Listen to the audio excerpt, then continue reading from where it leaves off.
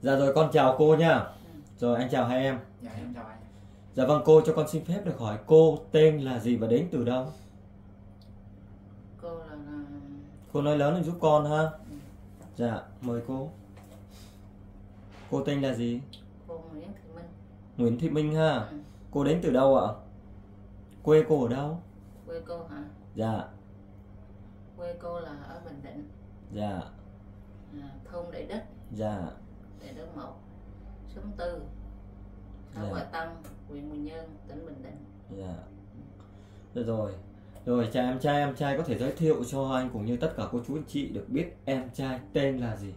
Dạ à, em chào cộng đồng mạng em là Quý Lê Thanh Thế em sinh năm 2000 13 tháng 1 Em đến từ Bình em Định đến luôn từ Bình Định em sinh ra ở Bình Định nhưng mà ừ, thường trú tại thôn Tân Kết xã Liên Hà huyện Lâm Hà tỉnh Lâm Đồng ạ ạ? À. Còn em trai? Dạ, em xin chào cộng đồng mạng, em tên Nguyễn Lê Hữu Quyền Em ở quê Bình Định Rồi. Hôm nay tức là đây là ba mẹ con Ừ, đúng không ạ? Dạ, đúng. Hôm nay ba mẹ con về Bình Dương nhờ anh em đội hiệp sĩ và Thanh Hải giúp đỡ vụ việc gì? vụ việc à, tìm giúp à, đứa em gái bị bắt cóc ở tại thôn 10 xã Trường Xuân à, Bị bắt cóc. dạ Thông tin này đúng sự thật không em? dạ đúng ạ Em có thể chia sẻ sự việc chi tiết hơn không? Mời em. em ờ, được nghe cô em về ở rẫy ở Lâm Đồng chỗ em tại xã Liên Hà được nghe sự việc việc cái em ờ, cấp tốc dẫn thằng cu đi lên ờ, xã công an xã xã Trường Xuân để để để tìm em gái nhưng mà em báo công an xã trước trước khi em đi tìm em gái Ừ. tại cái rẫy bà tên là Hồ Thị Minh Ừ.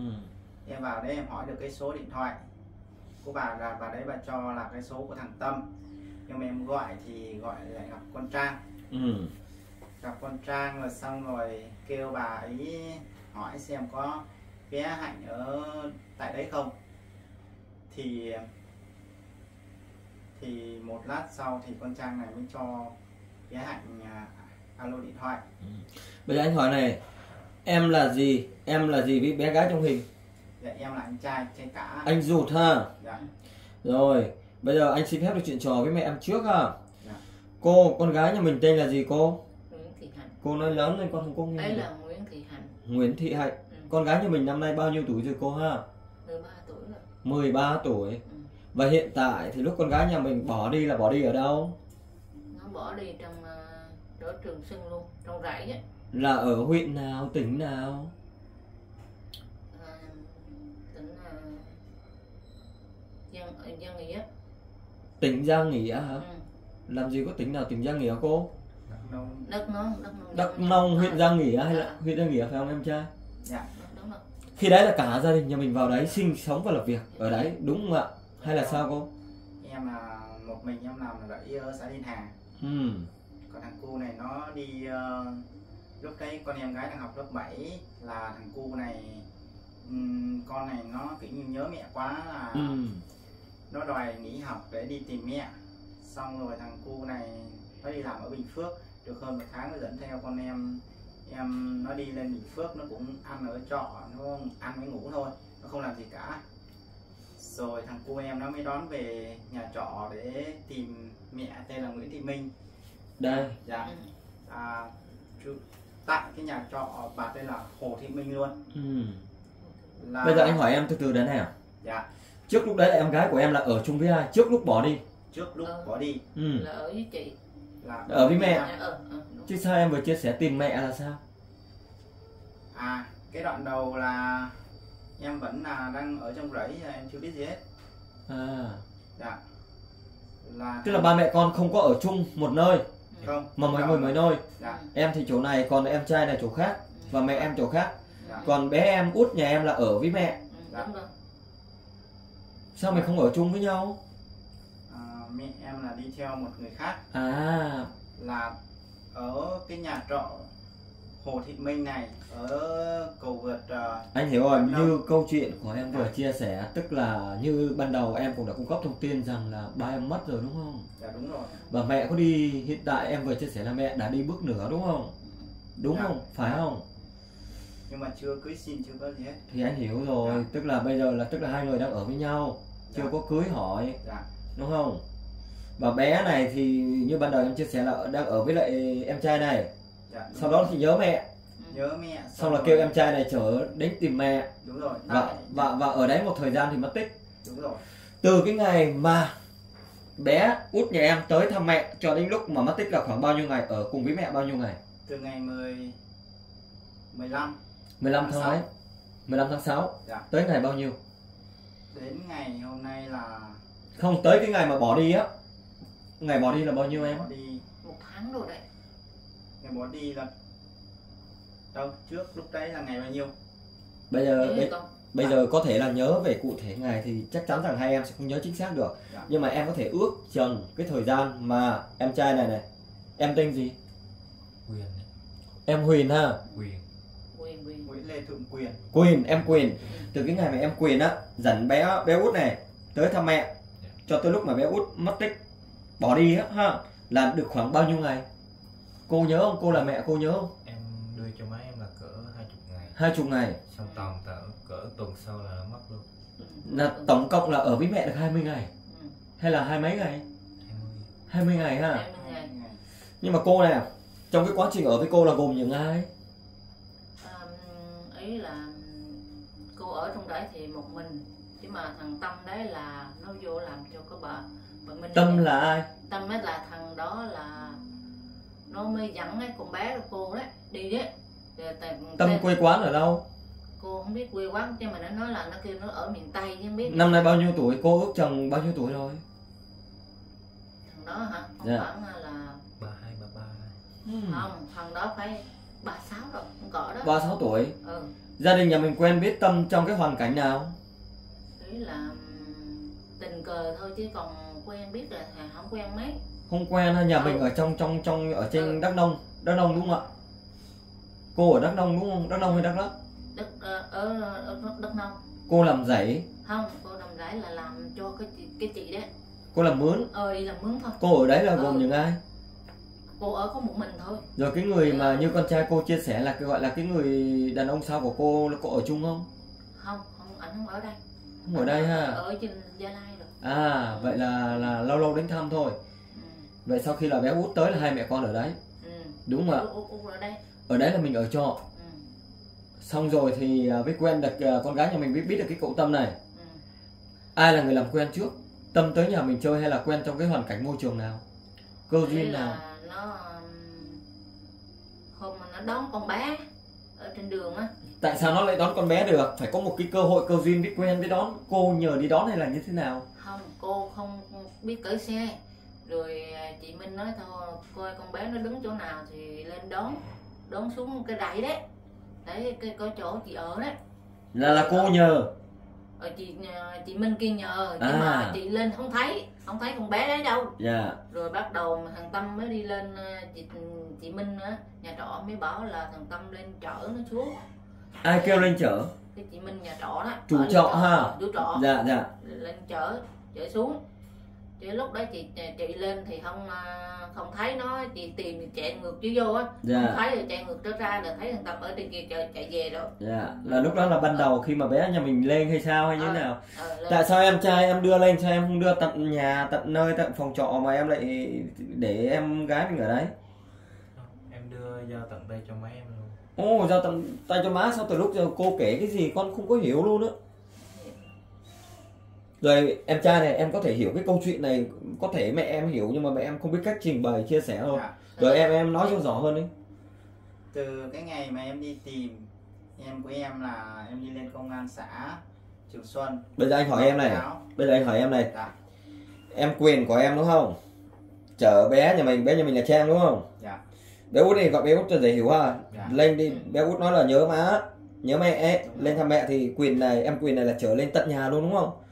Tại Dạ. phòng trọ tên Hồ Thị Minh Rồi, là em ở đấy được hai mấy ngày thì em mất tích, 20 ngày không đúng không? 20 ngày thì bỏ đi đúng không? vậy bà Hồ Thị Minh này làm cách nào đấy dẫn hai mẹ con vào trong dãy ấy Ừ. dãy của bà chứ không phải Không sự phải là- xảy không ra phải- ở không. nhà trọ qua nhà trọ đó Hoàng Hà ừ.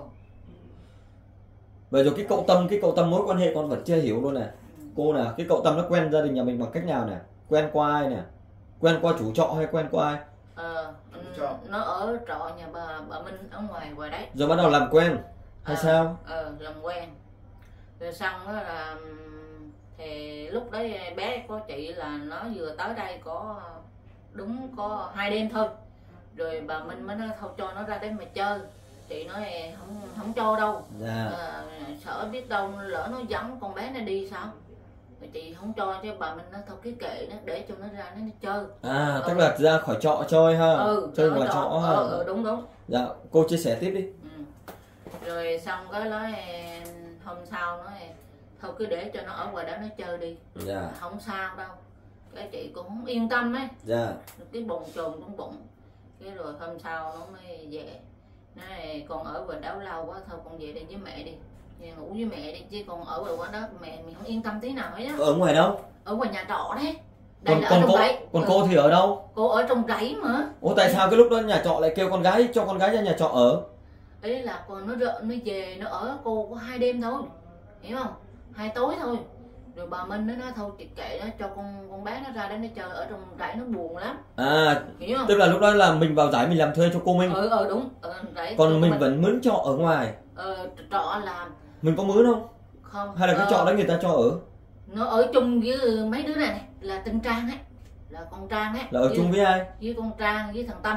Thằng tâm với con trang. Sao lại trọ ở chung? Cái là về này bà Minh nói là không có chỗ ờ, không có chỗ ờ, hết hết hết phòng mà hết phòng. Thế là gộp cho ở chung? Ừ. trời đất ở, ở ơi. ngủ với con con Trang là ý là cái trường giường đôi á. Là là ở vụ trên này là con trai ngủ hai đứa con trai. Thằng Tâm với thằng Linh ngủ trên trên đầu đây. Thì con Trang với trong đó có ai là người nhà nhà mình không?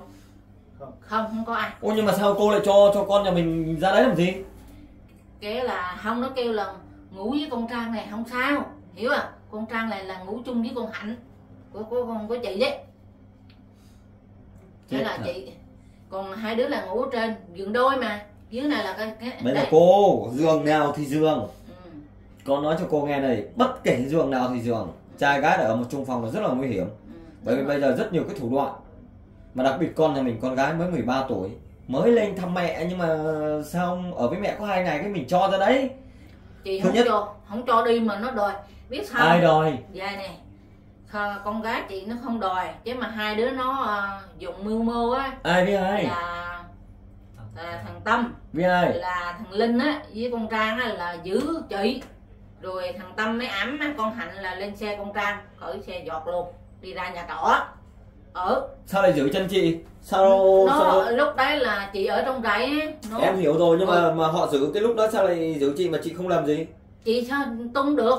Hai đứa đi giữ cứng ngắc mà. Một đứa đầu trên một đứa đầu dưới làm sao mà chị chạy ra được rồi, rồi xung quanh Chị không đấy, đâu lúc đó chị chị khóc có đấy vắng nhà. quán nhà lắm. Rồi cái cô ai. Minh đó là ai? Cô Minh đâu? Mình có nói sự việc này cho cô Minh chưa cái là hôm đấy là chị à, nói với bà rồi mà bà bà nói sao? Bà, bà làm thinh rồi bà nói à, đừng có nói với mấy đứa này. Cái sự việc này mình báo công an chưa? Báo công an chưa? Chính em à, nghe được cái sự việc à, cái em cấp tốc à, chạy từ nhà đi lên trên xã Trường Xuân em báo. Ừ. Rồi lúc đấy mẹ em vẫn đang ở với ông Hùng này tại Gia Lai sau em mới dụng được trời ơi khi mà em nghe được cái thông tin vậy anh hỏi thật bản thân em nghĩ sao? Như bản thân em. mẹ à, vô trách nhiệm. Đúng không? Vâng. Đó là cái thứ nhất. Cái thứ hai là sao? Cái trường hợp như thế như Với vậy sao? em, em mới 13 tuổi chưa có giấy căn cước công dân gì hết. Ừ, mẹ lại cho biết là nó là con gái rồi nhưng mà nó là con gái là nó khác còn con trai nó sẽ khác. Con gái là phải đi theo mẹ suốt suốt suốt còn con trai nó đi 10 năm là không sao. Đúng nhưng mà bản thân cô lúc đấy là cô có báo công an không? Hay là cô lại đi, đi nơi khác? Đi nơi khác với ồ vậy là cô đi nơi khác với lại người đàn ông gọi là sau này của cô. Cô bỏ mặc con mình luôn. Lúc đó là cô bảo nó cô khuyên nó thôi con đi về đi nó không nghe. Khuyên ai? Đứa con gái của cô ấy. Cô bảo con trang đó là nó nó chở đi rồi đấy là bảo chở về cái chỗ mà ở trong trong trong nhà trong rẫy này đi. Nó không chở. Rồi nó nó, nó thách đố nó là ờ, nếu con cháu mà không chở con hạnh về là cô báo công an nó nó nó còn chửi lại cô nó nhưng mà nó anh- muốn, là ờ, nó nó kêu là ờ, cô muốn báo công an thì báo cháu không sợ. Sao nói thế. bây giờ con hỏi cô này sao cái lúc đấy cô không báo công an luôn? Ngay cái thời điểm đấy cô Chứ- báo công an luôn cô phải là người sáng suốt nhất. Chứ mà nó nói à, khờ, đi với cháu là khờ, yên tâm đi. Nó yên nói vậy. tâm bởi vì sao? Nói cái gì? Cô bây giờ con sẽ phân tích cho cô hiểu này. Ừ. thứ nhất con gái nhà mình mới 13 tuổi mà đặc biệt là con gái. Ừ. đó là cái thứ nhất. Cái thứ hai là khi mà bọn chúng gọi là đưa con gái nhà mình đi thì bọn chúng có dùng gọi là tác động tay chân đúng không ạ? Giữ cô ở lại. Ừ. và mặc cho cô khóc. Ờ, lúc đấy cô khóc mà. Đúng không? Mắt cô chảy rồi cô để đưa để đưa bé Trang bé út nhà mình đi. Ừ. đó thì tại sao ngay cái lúc đấy khi mà bọn chúng đưa đi rồi thì mình con đồng ý với cô là trong đấy là đường vắng cô không làm gì được và cô có một mình. Nhưng mà sau khi bọn chúng đưa đi thì cô phải lập tức cô báo công an chứ tại sao cô không báo? Cô sợ điều gì? Cái hello bà, bà, bà Minh cũng cái kiểu lúc đấy bà Minh là nói với cô cô vậy nè. Bà vô bà làm bà nói là ờ, nó không sao đâu. Không. Nói vậy nè bà nào thì Ừ. bà con nhà mình là quan trọng nhất. Ừ. lỡ may bà đấy đồng âm mưu với bọn chúng thì sao? Ví dụ con nói chẳng hạn như cái bà Minh này nè cũng là âm mưu chung với bọn chúng thì lúc đó là sao? Vậy rồi là bà Minh nói với cô như vậy rồi cô bỏ luôn. Buông tay luôn. Mặc cho bọn chúng đưa con gái nhà mình đi đâu thì đưa. Mà bé mới 13 tuổi. Rồi sau đó thì cô có lo sợ không? Sợ chứ. Sợ tại sao cô lại đi nơi khác với người đàn ông khác? Điều nó nói à, mẹ ơi nó nói con con ở đây rồi à, không sao đâu. Tức là cô đã liên lạc được với bé Trang. Ờ con bé trang nó nói nhưng mà lúc đấy cô có ra phòng trọ không không không ra cô tại sao mình không ra? Là nó nói trời đất ơi. Xong rồi mà nó bà có cho ra đâu. Không có cho ra phòng không trọ. có bạn nào cản được hết á. Ừ. con gái nhà mình bắt đi người ta bắt đi người ta dẫn đi như vậy không có bạn nào cản bà, bà, bà nhốt ở trong rẫy luôn mà không cho ra luôn. Ờ, tại không sao mình không tại sao mình không ra được đấy mà mình lại đi được ừ, tỉnh khác với người đàn ông khác? Ừ. cái rồi bà là cô bây giờ con đang hỏi cô ấy. Ừ, tại sao? Bà không cho ra. Bà không cho ra nhưng mà sao cô lại đi được tỉnh khác này cô lại đi được lai ừ. Cái rồi sau bắt đầu mới ờ, con trang mới điện tại để điện cho nó Ừ. cả trăm cuộc Dạ. nó không nghe máy. Dạ. Xong rồi bắt đầu ờ, nó mới gọi lại mới nói là ờ, cô ơi con hạnh nó ở với con rồi cô yên tâm đi. Mà chị không yên tâm tí nào hết. Cái rồi một lúc nữa nó mới đưa điện thoại cho con hạnh gọi. Cái con nghe con nghe con hạnh nó gọi cái nghe khóc khóc mà ừm, gọi có hai tiếng thôi nói mẹ ơi con sợ quá. Mà con ở đây con không biết ở đâu đâu. Cái là con bé nó khóc òi lên mà. Nó nói vậy. Rồi lúc đấy cô sao? Rồi lúc đấy cô ờ, rồi ờ, cô buông luôn ha. Biết sao giờ đúng không ạ? giờ biết sao vậy? Bé bị người ta dẫn đi ra đấy khoảng mấy ngày thì cô đi đi gia lai thì ờ, không, mấy chắc là một- một y gần một hay chứ. Đi được gần một tháng. Ừ, đúng rồi gần một tháng thì cô có gặp được con không? Rồi nghe nó gọi thôi. Nó gọi trời về đất thôi. ơi! Nó rồi gọi gần gì? một tháng vậy mình cứ im vậy luôn hả? Rồi rồi à, thì chị Minh nói chắc nó không sao đâu. Rồi Trời. chị không lo. Chị nói là điện cho nó hoài nó không nghe máy. Rồi cô không có sợ gì hả? Cô không lo sợ gì hả? Mình không biết tìm cách gì hả? Ý là đâu có nhờ ai nào mà bị tìm cách hai nữa Ủa? khổ chán cô thiệt. Chỗ đấy có ai đâu mà ấy có mình chị ở nhưng mà sao rồi cô lại đi được ra ngoài này hả? Ừ. ý là sao rồi cô lại đi được ra ngoài đi được gia lai cô đi bằng cách nào? Thì cô đi Gia Lai là nhờ cái anh kia là anh nói anh nào? "Ờ, bảo chú Hòa cho địa chỉ á là vô chở chị cây số 6 ừ. Là chị lên cái cây số 5 ừ. Là chú Hòa đã chở lên nhà chị Lan ấy mà làm. Tại sao mình đi ra trọ mình không đi được mà mình đi tỉnh khác mình lại đi được? Ừ. lý do gì rồi rồi xong cái câu chuyện. Con nói thật với cô cái câu chuyện của cô khi mà đăng tải cái câu chuyện này lên tìm con gái nhà mình. Chắc chắn một điều rằng khán giả cô chú anh chị trên cộng đồng mạng sẽ chỉ trích cô rất là nhiều. Hai con trai của cô. À, anh nói cho hai em biết này khi mà cái câu chuyện này đăng tải lên chắc chắn mẹ em sẽ bị cô chú anh chị trên cộng đồng mạng chỉ trích rất nhiều. Dạ vâng em biết. Em biết điều đó không? Em trai em quyền biết không? Chắc chắn 100% nhưng mà bây giờ anh hỏi em này mẹ em có dấu hiệu gì bệnh tật gì không? Có hỏi thật mẹ em có được bình thường không? Có bệnh mẹ tim à, tim có. thì cũng bình thường nhưng mà không biết chữ thôi tức là mọi thứ đều bình thường không có ảnh hưởng về tâm thần đúng không ạ? Không. Có không? Em bây giờ con trai cả này bà kiểu như là bà theo ông kia là theo hút không có không có về nhà. Ừ.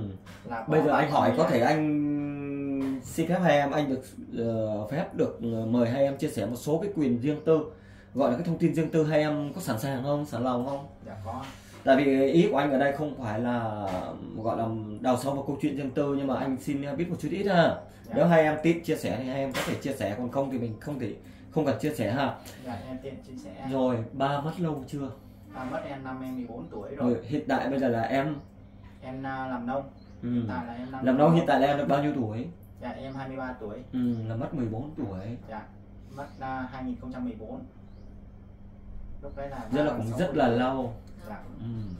mất được bao lâu thì mẹ có người đàn ông khác Ừm, mất được uh, 3 năm 3 năm là mẹ à, đi kiểu như đi nhặt củ cải củ cà rốt à, người ta làm màu người ta ấy hết củ đẹp rồi đấy là còn mấy cái củ xấu xấu Ừ. và bà qua mót cái là Ừ. gặp nghe ông này ở tháng cho ông Tuân ở gần nhà cái là anh bà quen nhau quen nhau cái là anh bà dẫn nhau về nhà. Lúc đấy còn còn bé chưa la được khi nào mà lớn eo lớn lên được rồi cái là la la chửi ổng cái là à. đuổi ông đi cái là bà này cũng cuốn gối đi theo ổng ừ, luôn nhưng mà ông nó trong cái thời gian ở gia đình nhà em thì à, hai em thì cảm thấy ông như thế nào? Ông có tốt không? Ông không tốt ông uống rượu say tới 11 giờ 12 giờ em đi làm về. Từ 3 giờ em đi chiều tới làm 3 về giờ là rất là mệt và mỏi vậy là ông nhậu rất nhiều có đánh đập các em không? Ông đe dọa thằng này đi là à? em đuổi đi luôn. Ồ. Thế vậy là tức là về chỉ có ăn nhậu thôi không chịu đi làm. dạ. Có đi làm không? À, Có đi làm khi nào mà gần hết tiền à, nhậu rồi cái là sẽ đi làm. Đi Ừ. làm để lấy cái tiền mua thức ăn thức uống với lại mua rượu. Rượu vậy là nhậu cứ nhậu bét nhè vậy. Dạ, rồi. bắt đầu là đe dọa cả em quyền rồi còn em bé út nhà mình lúc đấy bé út có ở chung không? Có à? có bao giờ đánh đập bé út không? Hù dọa gì không? Không. Rồi có đánh mẹ em không? À em à, cái đợt mà em đi Bình Phước em làm được à, gần 2 tháng thì em đi về cái hôm chủ nhật đó em đi về em thăm nhà. Thế thì nghe hàng xóm kể lại là ông này ông đuổi ông chửi ông đánh đập ông đuổi bà này ra rồi xong à, sát bên cạnh nhà hàng xóm à, núp cả đêm xong rồi cái là hàng xóm là mẹ em núp á hả? Dạ. Mới thấy ném đá lên nóc nhà cái là hàng xóm tội quá là cho một tô cơm ăn. Trời đất ơi. Cái em đi về em bức xúc quá. Cái lúc đấy ông này cũng đi rồi. Ông này cứ như biết biết tin à, hai em đi về cái là ông này đi rồi. Nhưng mà bây giờ con hỏi cô sao cô lại lại cam chịu một người đàn ông như thế sao cô mình quen mình không có tìm hiểu hả? Hay là sao? Biết à, từ lâu rồi còn con gái mà. À quen gặp ừ. à biết không? quen ông biết. đã từ thời hồi chưa lấy chồng. Ừ. ở như đồng nai. Dạ. Biết năm 16 tuổi tới giờ mà. à rồi biết gì ông bây giờ mới gặp lại ông mà. Gặp lại rồi ai là người chủ động? Là ông hay là cô? Cô. Cô chủ động luôn ừ. chủ động để quen. Ừ. lúc không vậy nè. Lúc đấy vậy nè lúc đó chị bị son nặng á nó là mũ Ừ. đau mũ ướt hết cái áo này nè. Ừ. Rồi chị mới hỏi là anh ơi anh có bài thuốc gì không? Bài cho em cái. Dạ. Rồi ông mới nói là em bây giờ em đi ra em mua con vịt sim. Rồi lấy cái mật con vịt sim á dạ. đi mua cái dầu Phật Linh á. Dạ. Chỉ có một cái chai dầu không đó rồi lấy cái cái, cái tâm mà bẻ mình xỉa răng này, bẻ làm đôi ra sớt dầu vào đấy. Rồi bắt đầu lấy Ờ. cái mật con vịt sim á rồi bơm lại bơm lại vô cái chai dầu mà mới sớt đấy vậy là như vậy là mình quen mình thích. Ừ. rồi là mình mình ngỏ lời với ông luôn hả? Hay là ông ngỏ lời?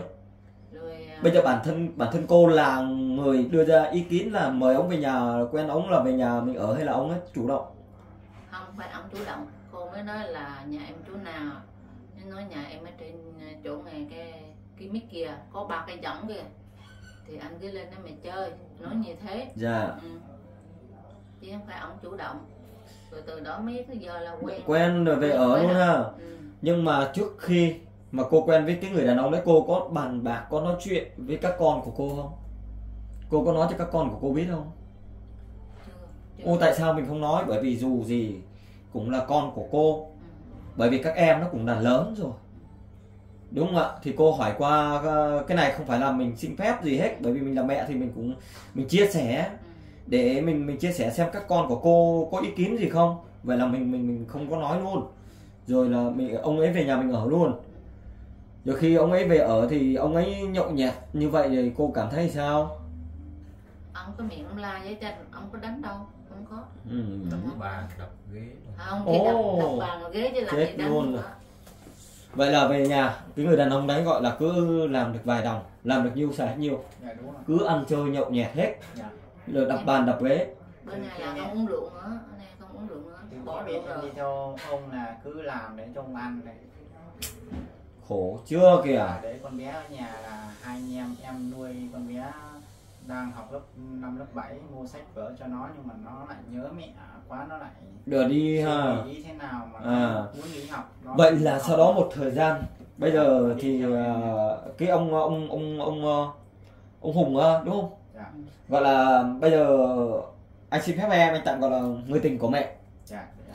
người tình của cô á là sau một thời gian là ở nhà sau đó thì cô đi ở với người tình của cô ừ. đúng không? Vậy để chị nói cho nghe. Ờ, cô bỏ ba con đúng không ạ? Để chị xin phép này dạ mời cô. Giờ này có đứa em nó đi Đài Loan nó mới về.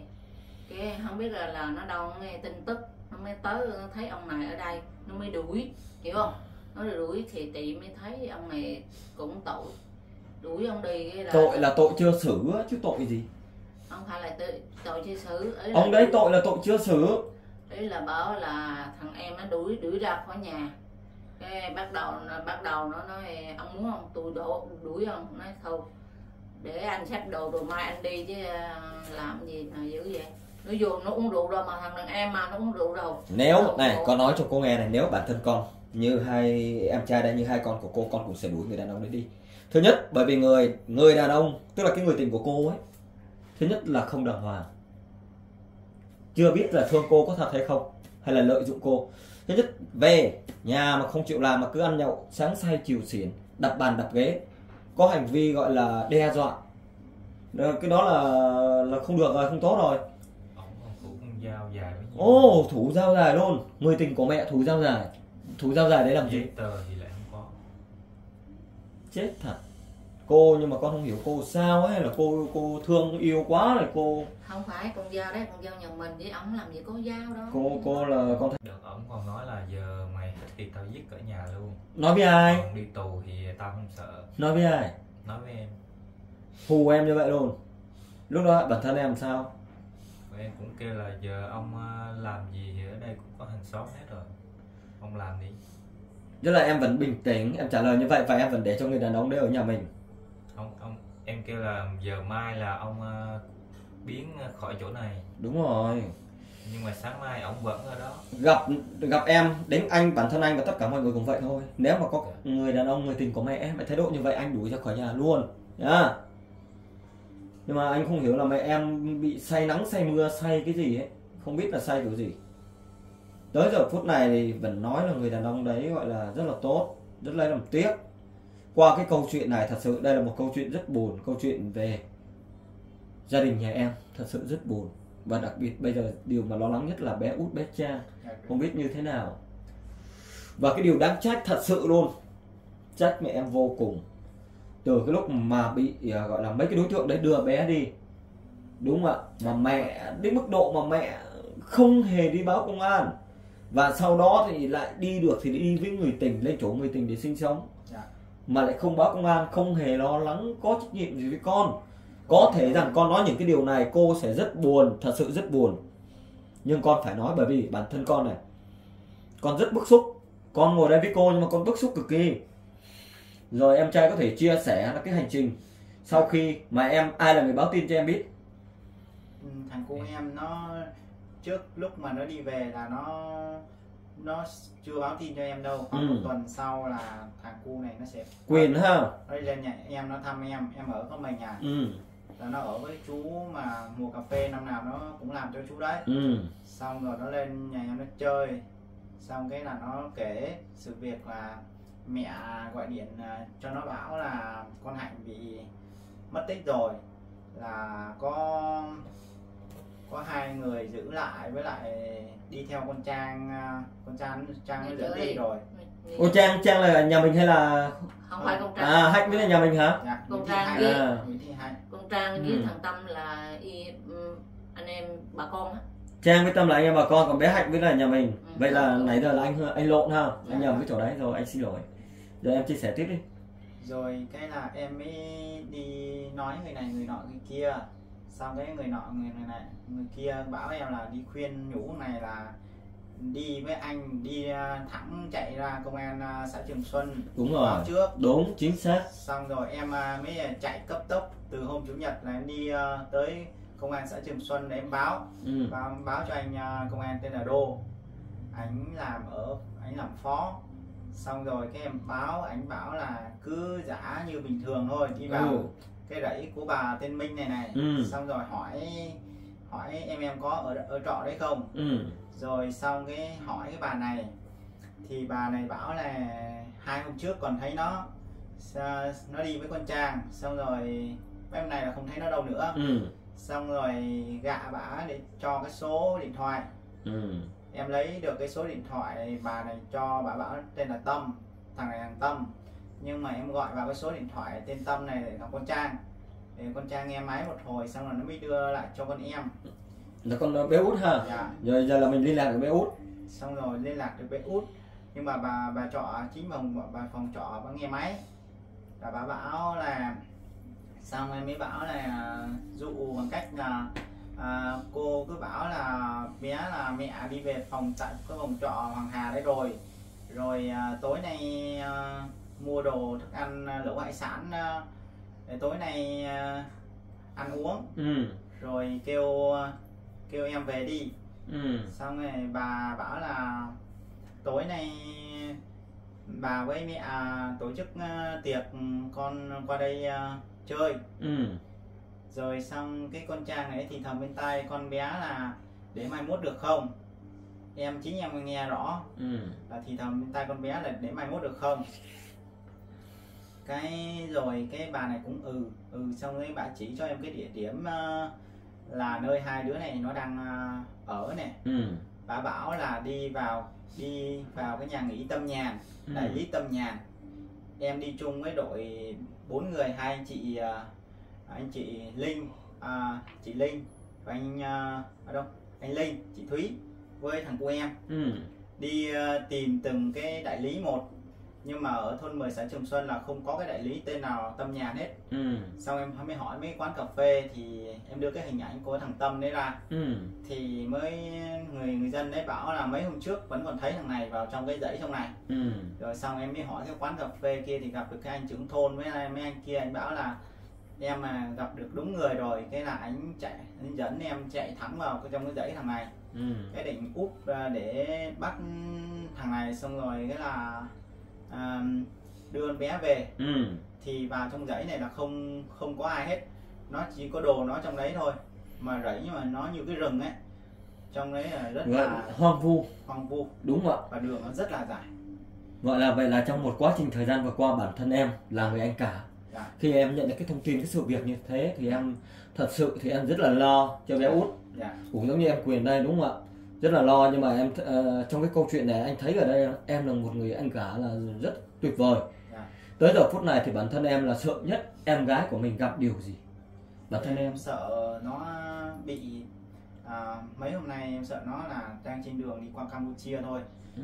em rất là sợ như vậy tại là em điều tra tới hôm thứ hai là à, cái, có cái đoạn ghi âm từ 11 giờ đêm hôm chủ nhật với đoạn ghi âm hồi à, lúc trưa hôm thứ hai là nó hứa là à, chở con bé hạnh đi ra đi ra cái nhà máy đá đấy. Ừ. để trả con bé. Xong rồi cái là nó cúp nguồn luôn từ đó tới giờ.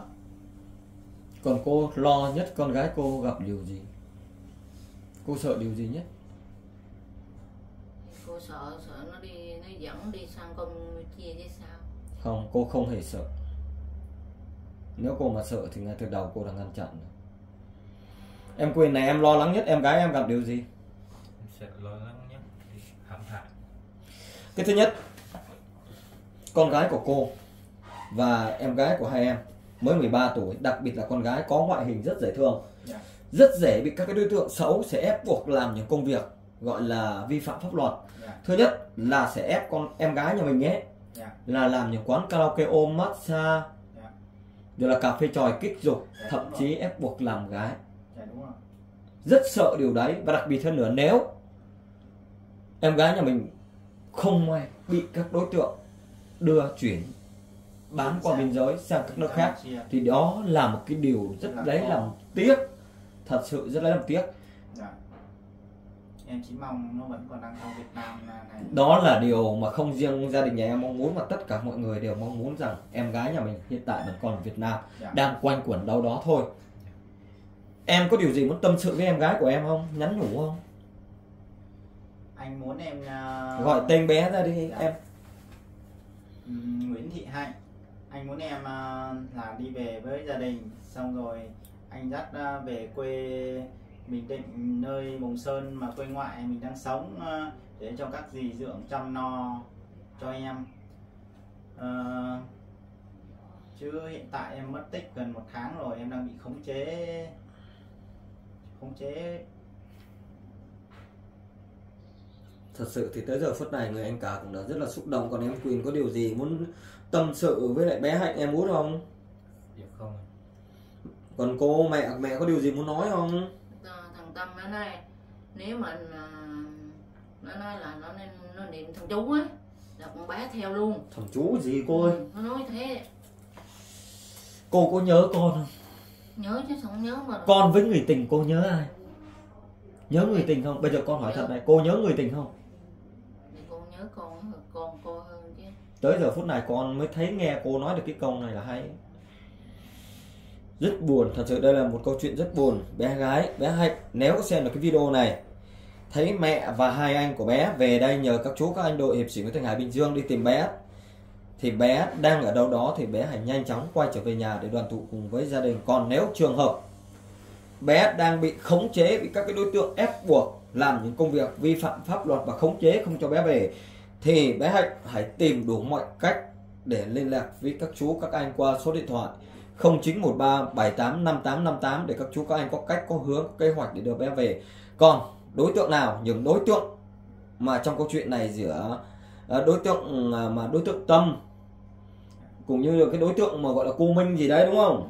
Nếu mà có hành vi, gọi là đưa bé đi và ép buộc bé hoặc là đang có một cái âm mưu, kế hoạch để mà hãm hại bé, cám dỗ bé, ép buộc bé làm những công việc gọi là trái với lại pháp luật, vi phạm pháp luật và thậm chí trái với đạo đức con người, thì hãy nhanh chóng thả bé, đưa bé quay trở về đoàn tụ cùng với gia đình.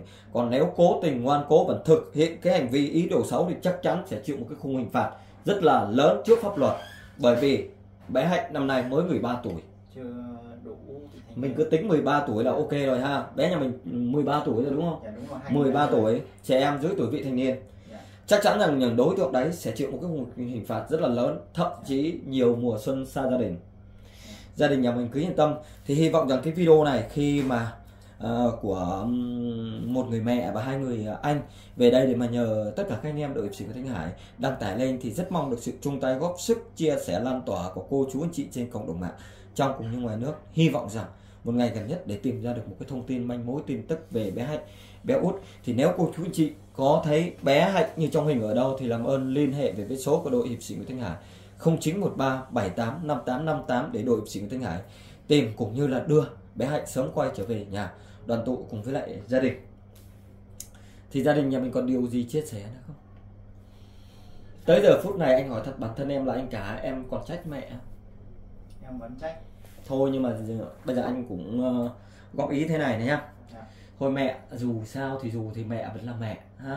Dạ. mẹ vẫn là gọi là người sinh ra mình hai em nha mọi chuyện đã lỡ vậy rồi thôi mình đừng trách mẹ tội mẹ nha em quyền cũng vậy ha dù gì thì dù mẹ vẫn là mẹ. Mẹ có như thế nào, mẹ vẫn là mẹ. Vẫn là đấng sinh thành, vẫn là người sinh mình ra.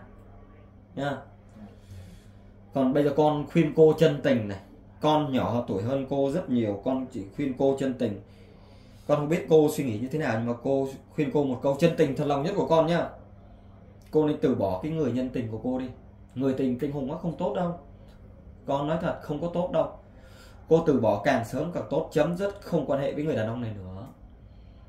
Mình bây giờ cô hiện tại bao nhiêu tuổi rồi? 50 50 ha có các con rồi các con lớn rồi mình về với các con. Còn chừng nào nếu mình muốn đi bước nữa người nào đàn ông đàng hoàng tử tế mình kiếm một cái người bạn mà tử tế đàng hoàng thương mình nhưng mà phải thương các con của mình nữa để mình tâm sự hù hỉ còn cái người đàn ông mà cái người tình của cô đang quen ấy không tốt đâu.